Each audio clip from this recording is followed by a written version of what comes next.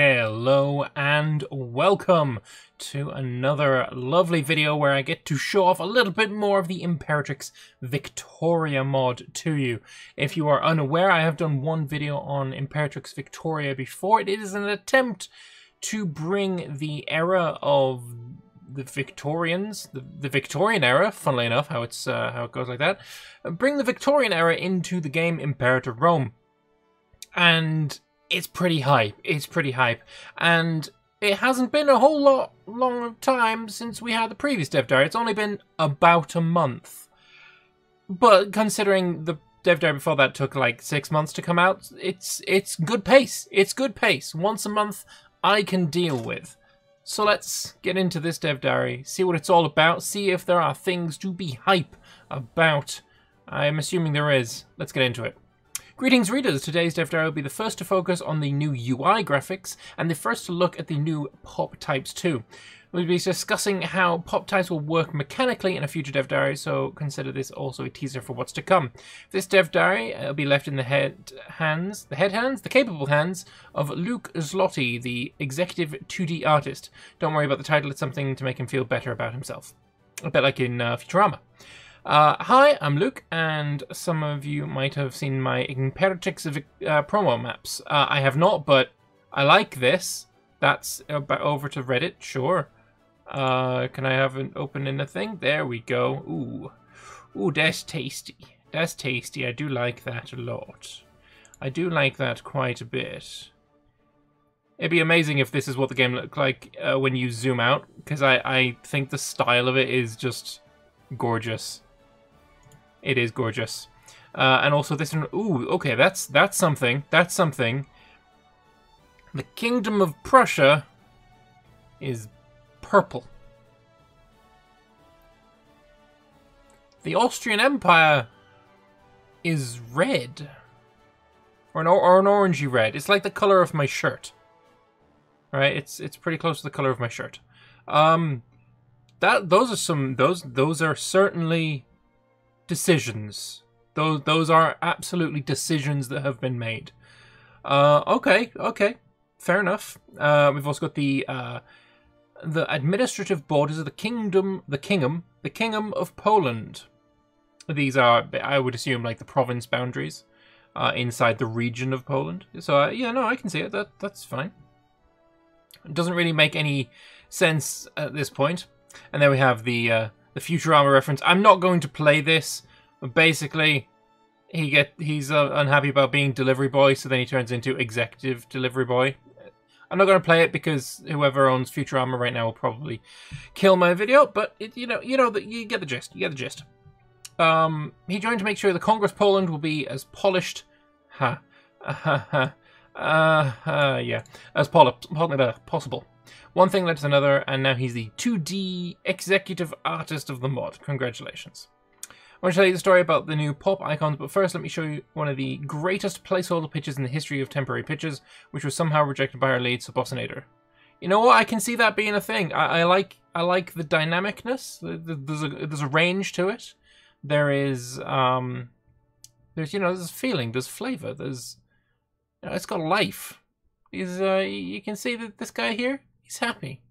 Uh, this one, he's um, he's he's very shocked and looking over in this direction, where this guy is, you know, taking a shit uh, while standing, which is, you know, quite amazing. Uh, this guy is actually just shocked as well. He's just like big scream going on. You know, I, you know, I, I'm just gonna move on. Um, so the process. Let's take a look at the province screen, which I think looks amazing. I love this filigree kind of border going on. The colors hopefully could be toned down just a smudge. That I, I feel like the colors are a little bit too saturated, but maybe it fits in with the rest of the map. Uh, we have yet to see. Uh, so look, these are the pop types, and holy shit, the city of Coruña can fit 1,459 pops in it. It only builds six buildings though, so that is something that has been uh, edited. Uh, Trade-wise, it looks like we've seen, uh, we don't see any new goods there. It's in the province of Galicia in Spain. Um, still got a culture thing, and a religion thing, and a uh, pop type of breakdown. But let's have a look at the pop types. there are seven of them. Okay. Let's see if we can guess what these are. Like aristocrat, leprechaun, shopkeeper, farmer, um, uh, clergyman, um, oh god, uh, Krogan, kobold. L literally looks like a lizard man. Saurus, and then slave. Yeah, that makes sense to me. Aristocrat, leprechaun, shopkeeper, farmer. Um, I want to say Sacha Baron Cohen for some reason. I, I don't know why, but you know, in in the Dictator, he looked very much like this: a lizard man and slave. Nice, nice, nice. So, Imperatrix Victoria uses seven pop types instead of Vanilla's five. When he joined the team, the pop screen looked very messy. So when he started doing it, the indentured serf prop type was not defined yet, so we had six of them, and a passionate discussion about serfdom was still ahead of us. Is serfdom slavery? Is it not? There's a question, valid questions. Um, I think in the Victoria 3 dev diary that recently came out, there was also a little bit of a discussion on um, serfs versus slaves, uh, where slaves were serfs were not counted as slaves in the game, as slaves were counted as being wholly owned by another human being, and serfs don't fit that particular definition. Uh, the team was focused on populating the world with new pops, but checking them in game was horrible because of the UI. So at one point, he started thinking, uh, tinkering with it, and implemented temporary icons that represented our pops slightly better than geometric figures. As you can see, he also added nice background graphics as well. Alright, I like it. This is back when there were only six, even though slaves are there. Oh, so these may be serfs. Are you splitting into serfs and slaves, perhaps? That maybe... No, no, no. Which one are we missing here? We're missing whatever this is. I mean, I, is it clergy? I, I, kind of don't think so anymore. Whatever this is, has is the one that's missing here. Um, so, we've got population of Recife. Uh, there's some cultural assimilation of slaves, religious conversion of slaves. Um, these pop types are being reduced uh, whatever they end up being. Leprechauns. The leprechauns are being reduced. Slave promotion allowed. That's normal. Uh, so this is, I assume, in Brazil then, Recife, or Recife. Uh, Brazilians got Afro-Portuguese and Tupig. Okay. And these are the artworky pictures. Gotta say, I don't really recognize any of them. Although you look a little bit like um, Henry Cavill. I don't know why. You just kind of you have a little bit of a Henry Henry Cavill about you. Anyway, later on, we decided it was time to move on and replace the black icons with something less temporary. Finally, we agreed to make human silhouettes in the style of Vanilla Imperator that will also be familiar to Vicky 2 veterans. So the pop icons, here we go. Brief summary of why they look like they look. Keep in mind that at least some of them might get a little quality update, so learning how to make them on the fly. So for the upper strata, first attempt at making a pop icon. A man in a top hat and suit should be clearly recognizable as somebody wealthy and important. While this pop would most likely wear black, I've chosen the blue color of the suit to make sure that all our icons are both shape-coded and color-coded. The color itself was heavily inspired by the Vicky 2 capitalist pop icon. I thought that the cigar would be a nice touch too. Uh, this is the icon most likely to be updated later. Bonus points for people who can identify the background picture. Is it... Just, just, just hear me out a second is it from balls? What's the what's what's what's it called? Um, is this Watson? I've honestly forgotten what the main character's called in that. It's uh. Oh my god, I've completely forgotten. Why has it slipped my mind? Benedict Cumberbatch played him in the BBC show, and um, Robert Downey Jr. played him in the film, and it's completely slipped my mind what the fucking film is called, or what the what the what the character is called. What the? Sh- I've got a terrible memory. Uh, but anyway, that's the role model for the dude, and I'm. It is from. I'm. I'm. I'm guessing it's from that anyway. So you can have a capitalist in any color you want, so long as it is dark blue. All right. So now we have the middle strata. The second icon made right after the first one. The base point was a bowler hat, different colour than blue and glorious moustaches. I'm happier with this one than the upper strata icon, but at some point I'll update the icon too. On the background you can see the person responsible for almost half the background pictures used by me. A pioneer of colour photography, Sergei Mikhailovich Prokudin Gorsky himself. Okie dokie. That's cool. Leprechaun, like I said, it's a leprechaun. Yeah, you know, it's a leprechaun. Uh, but yeah, bowler hat is is very iconic.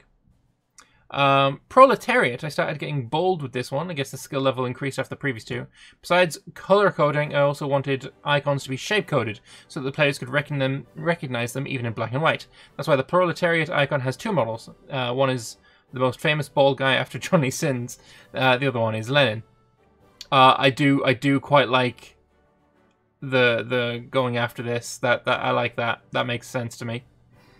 Uh, now for the lower strata, uh, to him it always meant farmer, so I desperately looked for a role model with a pitchfork. When I found this wonderful picture, I couldn't resist. Found a result looked a little bit too Americanish uh, and 1950s-ish, so I swapped the colours. In the meantime, the background photo uh, presents some Russian peasants, if you remembered correctly, from a photo by Prokudin Gorsky. Love it. Fantastic stuff. Um, and then he fixed some guy's face I don't know whose face that is. Is that his face? I guess it, it used to be or something. Either way. So, on to indentured. Okay, so that's what these are. Uh, the pop type that was not supposed to be in the game, but the lines between slavery, serfdom, and freedom are so vague depending on the area and culture, we finally decided to separate them out. Because the word indentured is too hard to me, they always called them serfs. I would agree with that. It, yeah, I would, I would agree with that. And what country comes to mind when you think about serfs? um, most of the middle middle ages, not middle ages, the medieval period countries, most of them. Um, and who's the most popular surface-looking Russian of that century? The rather, uh, the lover of the Russian queen and Russia's greatest love machine. On the background image, you can see one of Prokudin Gorsky's photos, one of the two prisoners shackled together in modern-day Uzbekistan. Um, uh, uh, Ra Ra Rasputin, Russia's greatest love machine. Yep, that's the one.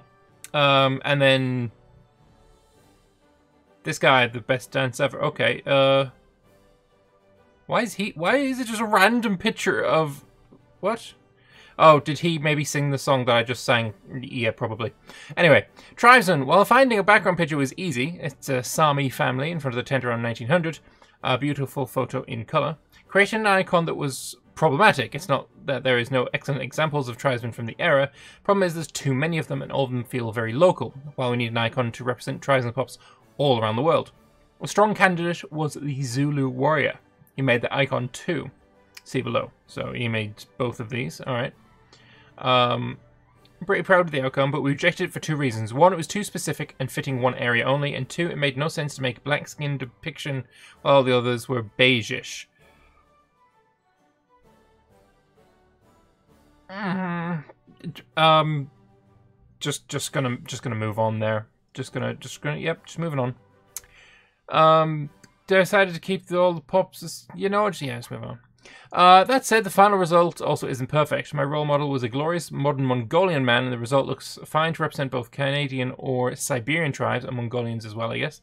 Uh, but it still doesn't fit the African desert or Amazonian jungle. I even experimented with having multiple silhouettes in one icon, but it stood out too much from the others, so it is like it is now. Um, I mean, scrolling up to this...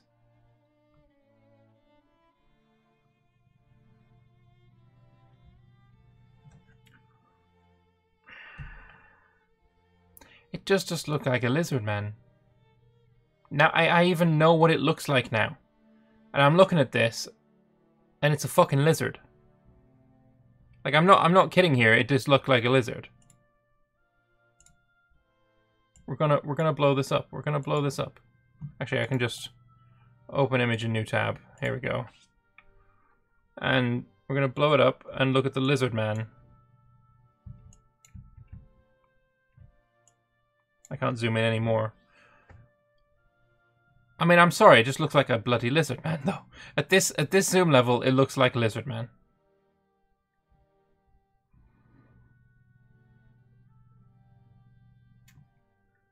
It is what it is. Anyway, go back down past the controversial bit. So, slaves. Oh yes, very. Let's move past the controversial bit and on to slaves because slaves ain't controversial at all. So, the issues with the slave icon were similar to the previous one. Many members of the dev team, and himself included, come from a more or less western part of the world, and thus the view on certain topics may be one sided. When we think about slaves, most of us see black African American slaves, while forgetting completely about European or Asian slaves. We also didn't want the only dark skinned pop icon to be the slaves, as they should be as generic as possible. There is, right, I'm just going to point out, right? We wanted to, we want everything to be as generic as possible. So they went with the same white-ish skin tone for everyone. That in and of itself is just wee bit wee bit I mean that's kind of the problem. It's kind kind of the problem. Um I would probably have gone with the earlier decision. Personally, I'd have gone with this. Because while, you know, these, uh, where are they? Uh, yeah, where are they? Here. So, these look good, right? They look absolutely terrible when blown up to this size, because, I mean, let's be honest, right?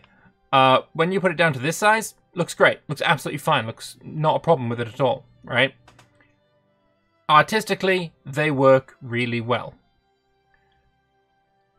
But it is the issue that was very much raised in the previous uh, Victoria 3 dev diary, in that um, when you have a vast myriad of different cultures and, and stuff in the game, all using the same icons, they kind of have to not just be based on a single uh, skin tone, for example, because um, it stands out. It definitely stands out. If I'm if I'm playing as a say I'm playing as Sokoto, um,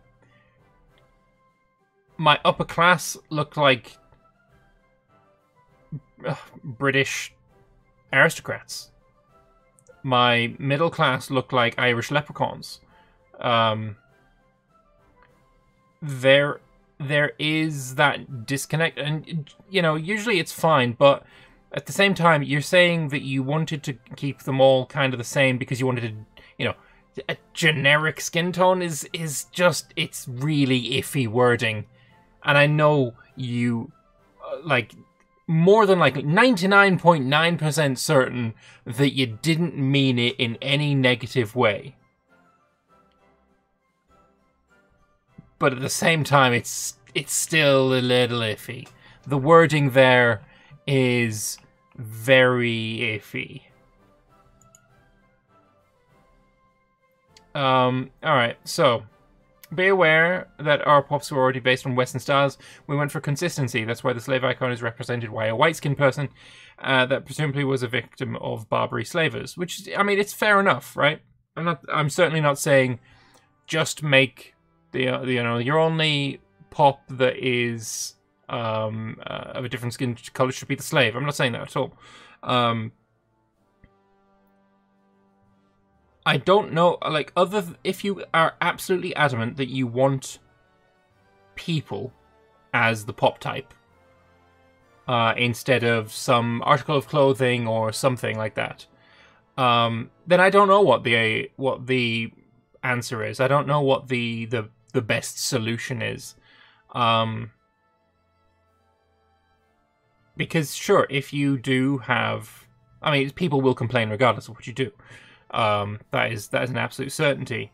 Uh, but I don't know what the the solution would be regarding like what skin colors to have different different pop types. It's a fucking minefield. It's an absolute minefield, and you know maybe having them all the same is choosing the path through the minefield that has you blow up the fewest legs. But the thing is, you're still blowing up a few legs.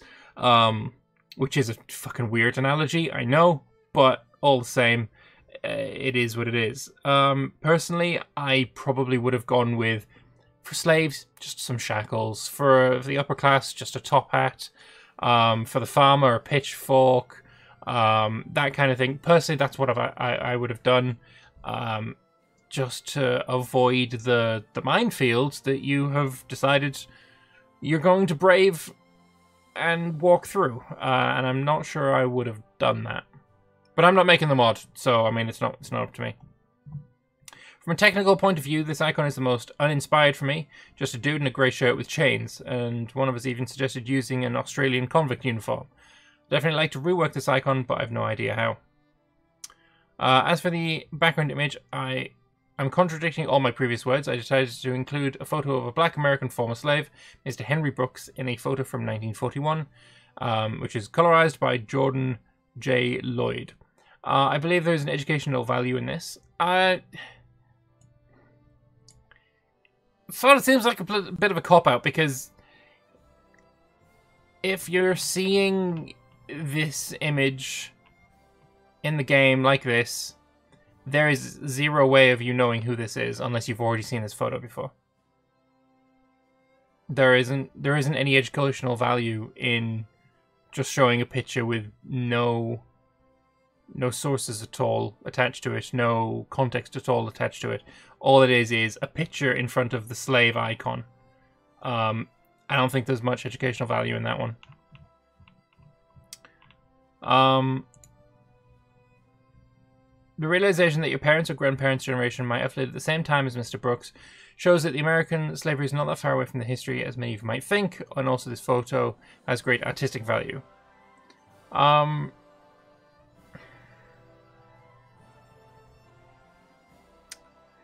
yeah, I mean, I'm just like I said, it's a minefield. You really can't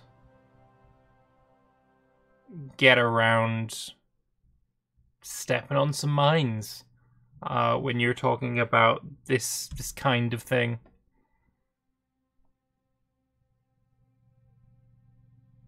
Yeah, well, uh, just yeah, I'm just gonna move on because I don't really know how, what else to say about it. I think um, I think maybe the the wrong the wrong direction was went down. Uh, end notes. Be all for now. Uh, next Dev Diary will tell you more about the pops themselves, their roles in society, and what they'll be able to do. I don't know how to pronounce that, so I won't even bother.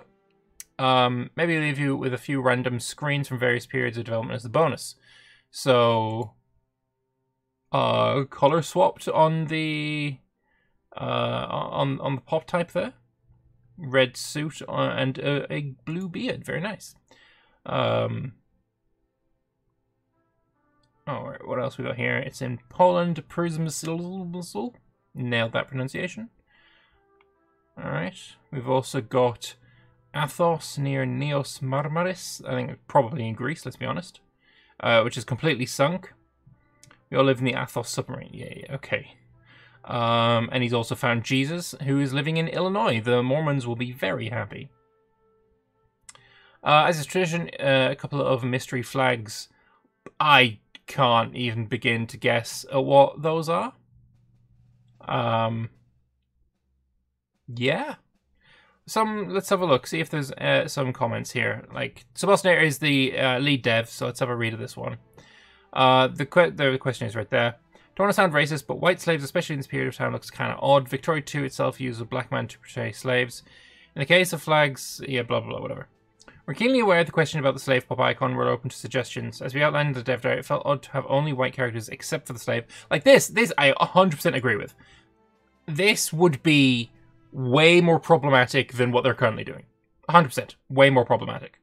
Um, although, for sure, in the time period, the most egregious example of slavery was that of the Western enslavement of people of African descent. Agreed. Ideally, would you use pop icons look different based on the culture of the province? Uh, Vicky 3 has managed to do this with pop icons unique to every pop. We'd love to be able to do that. Subject to change if discussion leads that way. Um, and and yeah, whatever about the other one. Um,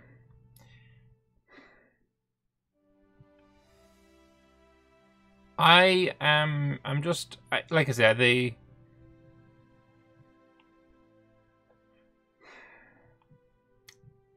I think what I would have done is just had the the original pop icons. I think that would have been better. It would have avoided any kind of controversy at all. Um, because I'll be honest, the con the controversy that you get from it is not worth it. It's not worth it. Um, I personally think this looks fine enough. Maybe make it 3D. Uh, the the outer glow here that they've got works perfectly as well. You can do that. That kind of thing, I'd be totally fine with. This kind of tent fits both in Siberia as it does in, um, you know, First Nations Canada, as it does in Sami in northern Finland. That that kind of fits, right? That doesn't matter. Farmer, they all use pitchforks. They're very useful tools. Slaves and uh, slaves and chains makes complete sense, no matter what kind of slave you are. Uh, laborers using hammers uh, middle class use briefcases, I, I guess. Uh, upper class with their top hats makes sense. It absolutely makes sense. Um, but when you are assigning skin color to them and you're playing in the entire world, it does get a little iffy, and there's no way around that. There is no way around that. So I personally think they went the wrong direction with it. Um, I don't think they're racist. Uh, I don't think it was a racist decision, uh, even accidentally. It was just it's just an iffy one, and it's not the way I'd have went. That that's basically it. Uh, but anyway, I'd like to know what you guys think. Am I am I just uh, am I being too woke, or or what what what's what's your thoughts on this? Because I am very much conflicted. Very much conflicted. Sherlock Holmes. That's what it is. It's Sherlock Holmes. Sherlock Holmes and Dr. Watson. And with that, I'm going to leave you. Thank you very much for watching. I hope you've enjoyed it. And uh, yeah, let me know your thoughts in the comment section below. I'll be interested to read them. See you later.